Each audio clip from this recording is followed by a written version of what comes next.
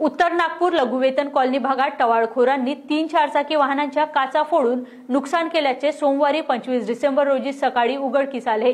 दारूच्या नशेत समाजकंटकाकडून वाहनाच्या काचा फोडण्याचे कृत्य केले जात असल्याची शक्यता पोलिसांनी व्यक्त केली आहे.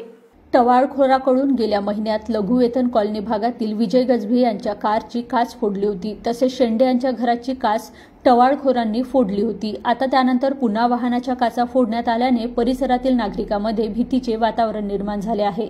दरम्यान घटनेची माहिती मिळताच जरीपटका पोलीस स्टेशनच्या पथकाने घटनास्थळी भेट देत पाहणी करून पंचनामा केला आहे. लघुवेतन कॉलनी भागात टवाळखोरांनी चारचाकी वाहनांच्या काचा फोडत नुकसान केले.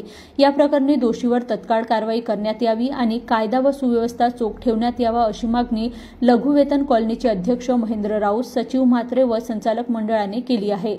या संदर्भात पोलिसांना निवेदन देण्यात आले आहे. जरीपटका पोलीस निरीक्षक बालक यांनी दोषी टवाळखोरांवर कठोर कारवाई करणार असल्याचे आश्वासन दिले. रोल. अ, लघुवेतन कॉलनीमध्ये काल रात्री एक म्हणजे पुण्यात टवारख्या करणाऱ्या मुलांनी कारांचे काचे फोडले.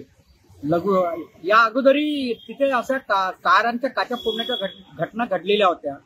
परंतु काल तीन कारांच्या काच्या फोडल्या आणि अध्यक्ष महेंद्र राऊत आणि सचिव मात्रे आम्ही आणि मी स्वतः जरीपटका पोलीस स्टेशनला गेलो आणि पी आय बाकल यांना यांना संपूर्ण घटनेची माहिती दिली आणि निवेदन सुद्धा दिलं क- की आम- ताबडतोब जे ज्यांनी का- कारांचे काचे फोडले त्यांना ताबडतोब अटक करावी अशी आम्ही मागणी केलेली आहे आणि पोलीस गस्त वाढविण्यात यावी अशीही बाकल यांना आम्ही सर्व संचालक मंडळांनी म्हणालो आहोत. मी लघुवेतन कॉलनीचा संचालक आहे भीमराव लोणारे.